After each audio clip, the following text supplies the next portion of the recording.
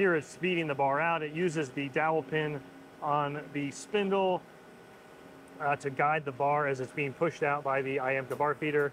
It's grabbing a turning tool, coming in, facing off the part with constant surface speed, turning the OD, quarter inch end mill. Good morning, folks. What you just saw was our uh, and Macodel 408 MT, or as we so often call it, our Willie.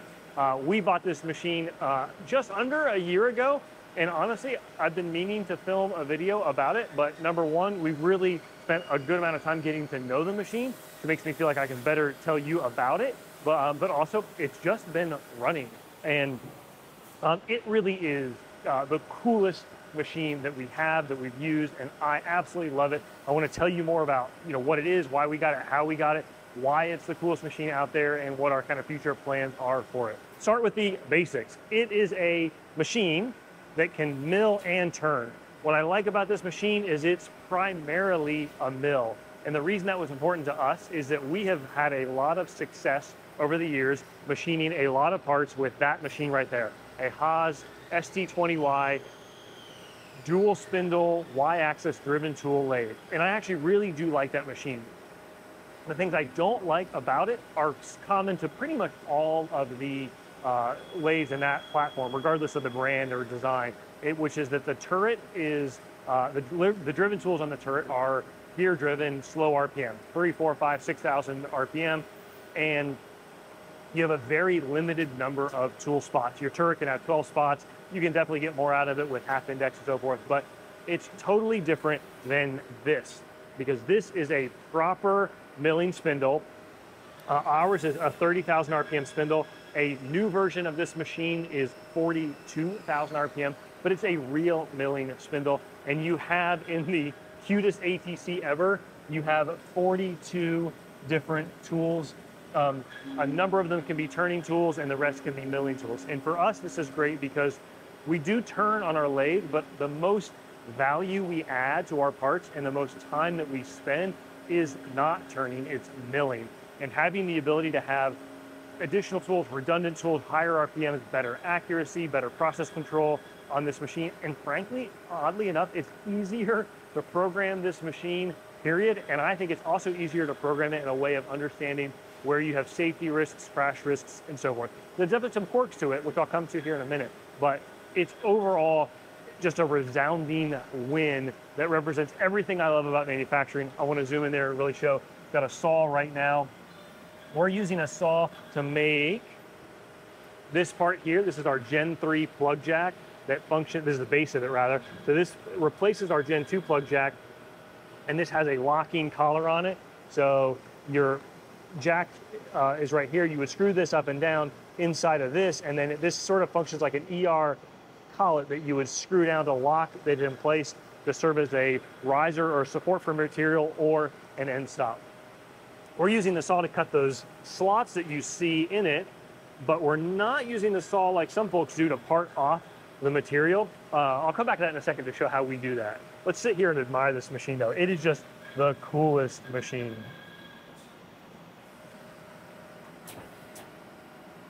thread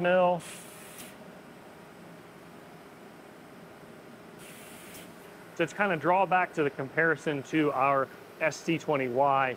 Uh, another option would be a traditional uh, mill turn machine. They, lots of folks make them. Okuma has the Multus series. Mazak has the, uh, not Variaxis, the uh, machines. There's a number of different uh, folks that make mill turns. They are B-axis machines that have a B head with a tool changer that can turn and mill. So totally uh, achieves a lot of the things I said before, which is the ability to both turn and mill, a proper milling spindle, five axis, etc.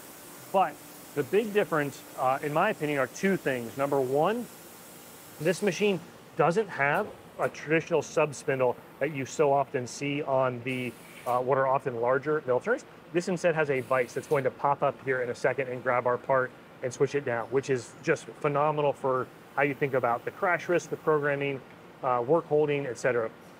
The other major difference is this is a relatively fast machine. Now, is it blazing fast? Uh, no, the newer ones are faster, but some of the larger mill turn machines have five, six, eight second uh, tool change times. So for us, when we're doing a relatively high quantity of parts where for every part you have to do all of your tool changes, that is a drawback to this design. So if we have uh, 20 tools on a single part, you got to do 20 tool changes for every one that you make. Uh, you want relatively fast tool changes. Um, that is a big drawback again compared to a part like let's say if we could make these one of these parts on a uh, a mill on a horizontal tombstone, you might be able to put a strip of 60 parts on there and make 60 parts with 20 tool changes total versus 1200 tool changes on a machine like this. Speaking of tool changes, uh, that is probably the first kind of red flag to, to rewind back and talk a little about uh, how we came to own this machine. Um, we had heard about them, but seen them. Uh, good friend CJ Abraham over on Instagram uh, has now two of them, and, and I kind of understood how cool they were and what they could do, uh, but I couldn't afford one. So started thinking about getting a used one, um, and a pure coincidence, around the time that we were getting serious, John Grimsmo actually found a used one and he bought his before us. Uh, but shortly thereafter, again, sheer coincidence, uh, we had seen that Willemin Macodel US, the actual corporation, had taken this exact machine in, as well as a sister machine, on trade for a customer uh, who bought uh, a few new ones. And like so many of the customers, I believe that user is in the medical world. And, and frankly, more of these machines, given that they're given their cost and accuracy and capability, are seen on the really high end world like making, you know, titanium bone plates type of stuff. We're using it for some pretty simple parts, but for reasons I still love. And so when this machine became sort of available, I just reached out to them and fast forward, we were able to reach a deal where they were able to go through the machine uh, and do some good uh, TLC, if you will. So none of the major components were replaced. You know, it's still a original spindle and original B-axis, so forth. But the uh, all the hoses, the lines, the fittings, the filters, you know, we had them go through it, and that meant a lot to me. And they also gave us a short warranty on it. Um, but I just thought, hey, for us to succeed with this machine, it means a lot knowing that the factories had the chance to go through it and come here and actually help us install it and give a little bit of training on it. Um, but the reason I mentioned the tool changes is that uh, this machine, when we got it, I believe had over 2 million tool changes already done on it. So this was not a new machine. Uh, it's a 2004. Again, it, it was used. You see a single point threading here. Really cool. Um, but they're meant to be run and they like to be run. Nevertheless, for the folks that have followed our story, uh, you know, this is not my MO. We have generally tried to justify buying relatively new machines that come with support, warranties, quality, et cetera, to help us do what we do. But I couldn't afford a new one. And I thought, hey, I could, I think I can make this work, uh, given uh, the relationship we had or, or, support we had from them, and it has. That's kind of one of the other reasons I'm happy to be filming this video.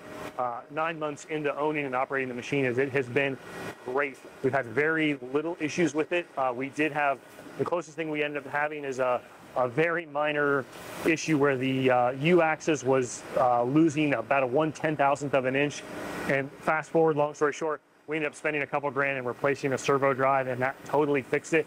I'll be honest, I wasn't super excited about that, but most of my uh, most of my frustration around that scenario was not being sure if that was going to be the fix. Since we did it and it was the fix, it's kind of a hey, great, she's back to running.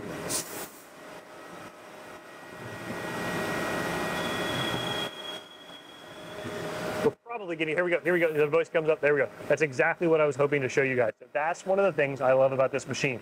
It flipped the vise up, it opened the jaws, grabbed the part, it twisted it off. So we're not using a saw to finish it off. We're parting it down to a small diameter and then just rotating and, and snapping the part off that way. I'll come back here and explain our offsets, but just watching again. Oh, it's so cool.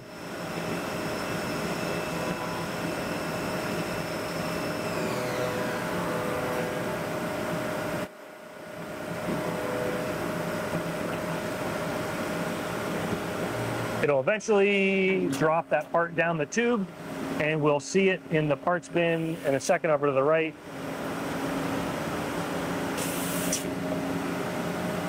There we go. Boop, drop. And it will be right inside that bin. There she is. What we had been doing was setting them on these 3D printed drip trays that have some slots that allow the cutting oil to drain back into the machine. Uh, and that's a big difference on many of these style of machines is we're not using cutting fluid, uh, the quality chem that we use on all of our other machines. This actually runs cutting oil. Um, it is better in the, in the sense that it's a better lubricant, it's a better uh, conductor of heat, I believe. Um, it's just like a, you get better tool life, better finishes. The drawback is um, it is expensive, and the drawback is that it tends to be remain sticky on the parts, if you will.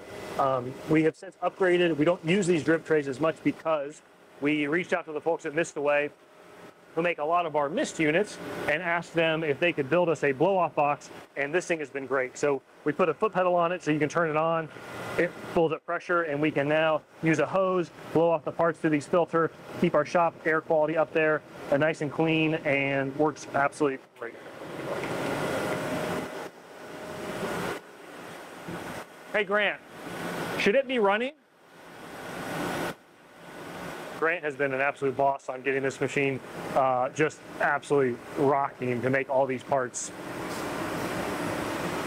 What was it, an option stop some sign or part Uh, counter? parts count. Part counter, okay. So now it'll come back in, get rid of the tool, I believe. Oh no, first thing it does is part it off, right? All about, that's the first thing it ever does, and that has to do with making sure you don't ever try to push the bar into the spindle that you're about to see here with a part that didn't actually get removed. Because the way to run these machines, and we're not yet, again, come back to that, the way to run these machines is, is you know, absolute lights out, uh, high volume, around the clock. Uh, and we've got some actually, I got a few things up my sleeve that we're, we're going to be changing up to, to be able to do that. This machine, as it sits right here, is not suited for that because it doesn't have fire suppression. Okay, so got rid of the tool. To come down here. Spindle's going to come over and kiss the bar and then it's gonna, the bar feeder's gonna push and the spindle's gonna help control the exact amount out that it comes, and we're done. So let's talk about programming and offsets. G54 is the face of our collet, so that doesn't change. So we know in Fusion we've got whatever that would be, inch and a half stick out here. And so we program pretty much like you would any lathe uh, from this point on. Quite simple. Fusion makes it easy with turning tools, milling tools, tool orientation. Uh, obviously, it's a five-axis machine, and that really opens up a lot of windows because you can take a traditional end mill, 3 16 end mill, quarter-inch end mill, and you can use that tool uh, axially, radially, to chamfer, to do five-axis contouring. If it's bullnose, you can do uh, deburring with it. And one of the key parts that we make on this machine is a part that would be pretty tricky to make uh, on another style machine because it's got some five-axis work on the end, and it's got that angled tip right there, which is also deburred using the Fusion deburr toolpath. This is uh, part for our relatively new puck chuck zero-point uh, automated clamping system. So G54 is simple collet based. Then there's G55, and that is the position when the vise pivots up, grabs the part, and pulls it out a programmed amount of distance. And you would you might want to do that to gain more access to the part, or have uh, be able to part off or end mill up part off um, before you then go to the next offset. We don't always use G55, but it is there. When it then breaks the part off and moves it down, rotating it from here down to here, and the vice, that's G56. So again, that's what I love about this machine. It's really simple uh, with the help of Rob Lockwood's container method and CJ's work on his Willemins. We've got a really efficient fusion workflow with the tool library, with the, uh, the kinematics of the machine, the setup to where, again, we can program complicated parts really easily, which I absolutely love. It has a Blum laser to check tool length as well as tool break. And there's a whisker here. Uh, you can't really see it that can do a part check to make sure the part came off. The newer machines have a feature that I really like, which is also a tool break whisker, a wire in the tool carousel. That way you can do break detect on every single tool without costing you any cycle time. Probably show off the tool changer real quick uh, because again, this machine is, all about process reliability. And look, you don't want to, you know, try to thread mill a hole that never got drilled. That sort of thing can catch catch it.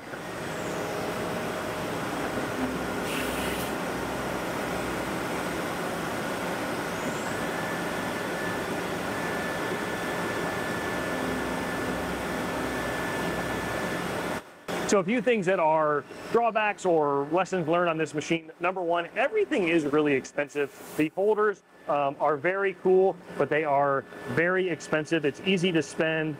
Uh, well, 300 would be almost the bottom end. Some of the turning holders that are, these are small, are eight or nine hundred dollars. So uh, very expensive.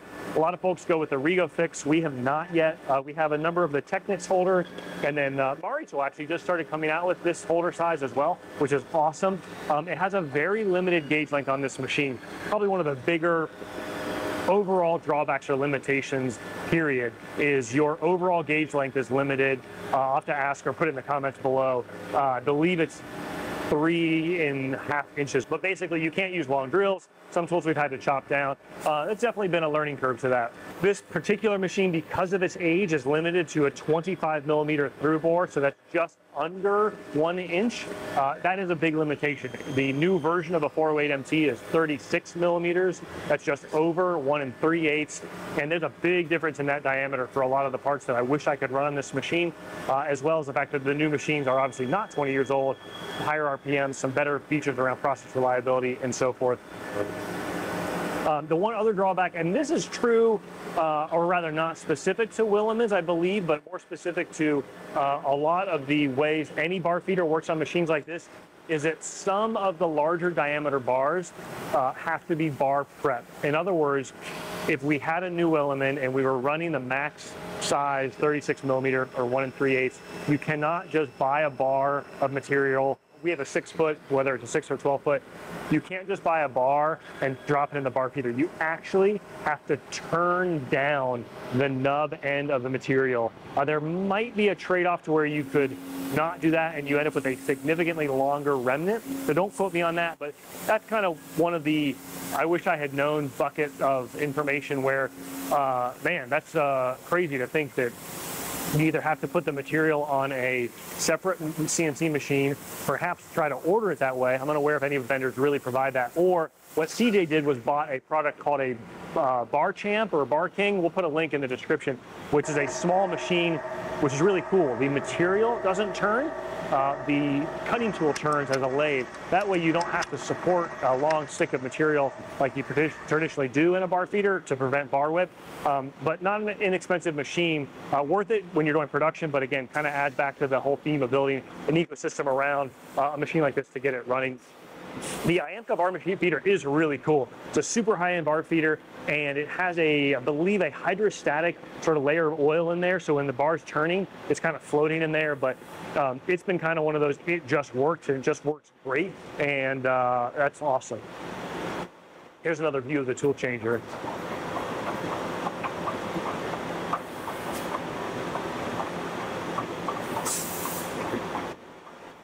The new machines also, uh, they believe they import all of them into the US with 72 tools. So uh, when I first started building out a Fusion test uh, programs for the parts that we would want to make if we could get one of these machines, I, I, I capped out at like 17 tools Be because of the five axis nature and you can do so much with, like I said, a single end mill, a few turning tools, so forth. Uh, it was pretty incredible eh, how versatile it was, again, compared to your traditional driven tool. And finally, the last point is we treat this thing as well as we can. In other words, we're really uh, ginger with it. We're not drilling big holes. We're not capping big holes. It is not a brute uh, muscle car. It is a nimble machine. So we're careful with how we put torque on the spindle. Uh, when you turn, we're careful with how much cut we take. Uh, that, that, frankly has led to some difficulties around chip control. I did kind of clean out the machine a little bit before we filmed. So in full disclosure, there were some bird's nests built up around it and we've had to uh, continuously kind of clean those out. Uh, but it is something where uh, partly, I think it's the overall build and style of the machine. Partly, it's because this machine is 20 years old, and I don't want to say uh, tax the spindle because we're trying to take, like I said, a heavy cut, uh, heavy tapping cut, or uh, or a heavy OD turning cut. We do a lot of thread milling and single point turning as well. It's just great though. Uh, like I said, we use it for a lot of our products now. Some of this is new puck chuck products. This is a new idea for a Gen 3 mod vice washer, which we actually can't fit on this machine. So that's kind of one of the things I'm chewing on where we run these right now on our ST20Y. And again, they run great. But that's kind of, I guess, I'll, how I'll wrap this video up is the thesis for us behind a machine like this is we've got one machine. So yes, it's you could argue it's bad that you're relying on everything with one machine, or, or rather a drawback, but it's so capable, and we're able to quickly switch out the soft jaws, which are relatively inexpensive. And we've done 3D printed ones, aluminum ones, steel ones, hardened steel ones.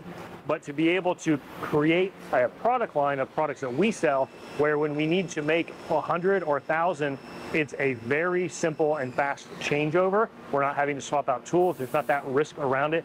That to me is what modern manufacturing is all about. And that's why I love this format of a machine. One last thing that's worth adding that's a huge valuable point to this machine, it's tiny. Uh, it is relatively lightweight. You know, we could unload it. I think it weighs 4,000 pounds. Made it easy to unload. You could move it around. Not that that's a huge value or attribute to us, but it is incredibly wonderfully small footprint. Obviously, the bar feeder adds a little bit to it, but uh, that matters. I, I, really see more and more reason behind that and care more about that. I'll walk you behind it real quick. Um, but the size is great. That's a hydraulic unit and a spindle chiller. And then we have our, uh, again, our blow off box right above it. So as always, folks, hope you learned something. Hope you enjoyed. If you run a Willemin or have had experience one, I actually would love to hear about it. They're the coolest, just they really are the coolest machines. Otherwise, folks, take care. You soon.